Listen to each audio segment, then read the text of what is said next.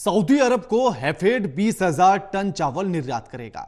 इसकी जानकारी देते हुए हैफेड के चेयरमैन कैलाश भगत ने बताया कि हैफेड जल्द ही मल्टीग्रेन आटा, बेसन और दाल को मार्केट में उतारेगा।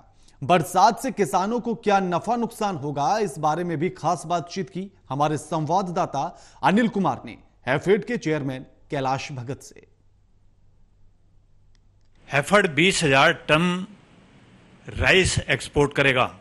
इस मेरे साथ हैं हैफर्ड के चेयरमैन, कैलाश भक्त, इनसे जानते हैं कि हैफर्ड किस कंट्री को एक्सपोर्ट करने जा रहा है और कितना राइस का एक्सपोर्ट होगा। अच्छी। हाँ पहले तो मैं सबसे पहले आपका धन्यवाद करता हूँ।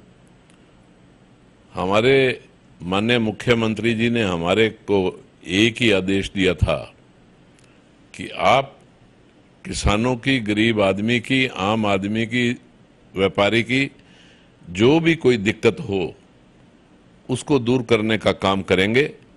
इस बार बासमती पैडी के रेट जो है बाज़ार के अंदर बिल्कुल डाउन हुए। तो मैंने माननीय मुख्यमंत्री मनोहर लाल जी से एक ही बात कही कि हमारे को परचेज करने के लिए आप ऑर्डर दो। तो उन्होंने मेरे को एक ही बात कही कि जिम्मेदार का जिसमें फ़ायदा होता है उस काम को आप करो। हमने पूरे हरियाणा प्रदेश की बासमती खरीद करने का काम किया और उसके साथ साथ उसी बासमती का बीस हज़ार टन का एक्सपोर्ट सऊदी अरबिया को करने का काम किया। भगत जी हैफेड अपने और भी प्रोडक्ट लॉन्च करने जा रहा है क्या भविष्य में? हाँ हैफर्ड अब आगे आगे हर घरेलू प्रोडक्ट को लागू करने के लिए हमने मल्टीग्रेन आटा दालों में वेसन हमारे पास ऑलरेडी जो है वो सरसों का तेल आटा हमारा पहले भी चल रहा है और चावल जो आम आदमी के लिए बढ़िया से बढ़िया क्वालिटी जो है वो हम मार्केट के अंदर उतार रहे हैं। भगत जी जो इस समय बरसात हो रही है इस बरसात से फ़सलों को क्या नफा नुकसान होगा?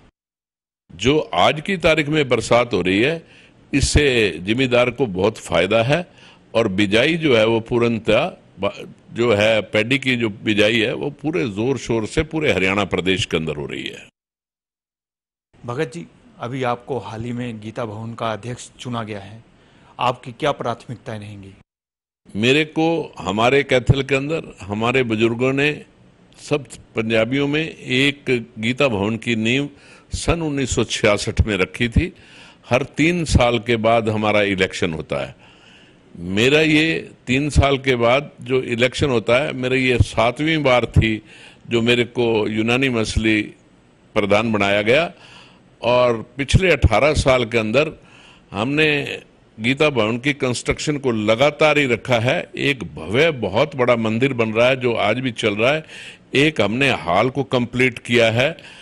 एक बैंक की बिल्डिंग को कंप्लीट किया जिससे हमारी किराए की इनकम बनती है, हमारे सभी साथी और इसके अंदर हमारे पास हमारे माननीय मुख्यमंत्री जी का योगदान भी बहुत अच्छा रहा है। ये थे मेरे साथ हैफेड के चेयरमैन कैलाश भगत। इन्होंने बताया कि बीस हज़ार टन राइस सऊदी अरब को हैफेड एक्सपोर्ट करेगा। Anil Kumar total news Chandigarh.